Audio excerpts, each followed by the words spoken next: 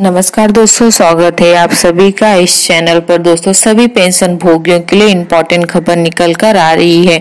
तो दोस्तों, खबर को जानेंगे, उससे पहले आप इस वीडियो को लाइक ज़रूर कर दीजिए और चैनल को सब्सक्राइब ज़रूर करिए और बेल आइकन को दबा दीजिए।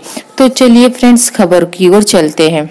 पेंशन भोगियों ने पीएम मोदी से डीए और डीआर को लेकर किया आग्रह। भारतीय पेंशन भोगियों ने केंद्र सरकार के कर्मचारी और पेंशन भोगियों के महँगाई भत्ते और महँगाई राहत का बकाया जल्द से जल्द जारी करने की मांग की है। इस बारे में प्रधानमंत्री नरेंद्र मोदी से हस्तक्षेप का आग्रह किया है।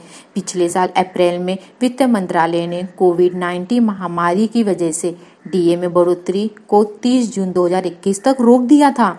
इस साल जुलाई में सरकार ने 1 जुलाई 2021 से डीए और डीआर को बढ़ाकर 28 फ़ीसदी कर दिया। इसका लाभ केंद्र सरकार के 48 लाख कर्मचारी तथा पैंसठ लाख पेंशन भोगियों को मिला है। 1 जनवरी 2020 से 30 जून 2021 तक डीए की दर सत्रह फ़ीसदी थी। सरकार ने केंद्र सरकार के कर्मचारियों तथा पेंशन भोगियों के लिए डीओडीआर का कोई बकाया जारी नहीं किया था। प्रधानमंत्री को लिखे पत्र में बीएमएस ने कहा, आपसे इस मामले में हस्तक्षेप करने का आग्रह किया है। आप वित्त मंत्रालय को 1 जनवरी 2020 से 30 जून 2021 की अवधि के लिए रोके गए डीओडीआर को जल्द जारी करने का निर्देश दीजिए।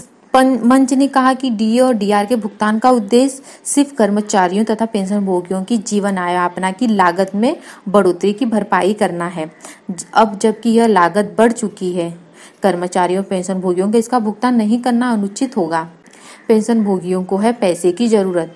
पत्र में कहा गया है कि ज़्यादातर पेंशन भोगी बड़ी उम्र के लोग हैं। ऐसे में उन्हें चिकित्सा के लिए पैसे की ज़रूरत होती है। साथ ही कोविड नाइन्टीन के संकट से ज़्यादातर चीज़ों के दाम दुगने हो चुके हैं। ज़्यादातर पेंशन भोगियों की आय इतनी होती है कि वे सिर्फ़ अपना आधा पेट भर सकते हैं। मंच ने कहा, इस बात में शक नहीं कि देश वित्त संकट से जूझ रहा है। आशा करती हूँ कि ये वीडियो आपके लिए हेल्पफुल होगा। अगर ये वीडियो आपके लिए हेल्पफुल है तो प्लीज़ ज़्यादा से ज़्यादा शेयर कीजिए और मेरे चैनल को सब्सक्राइब करना ना भूलिए।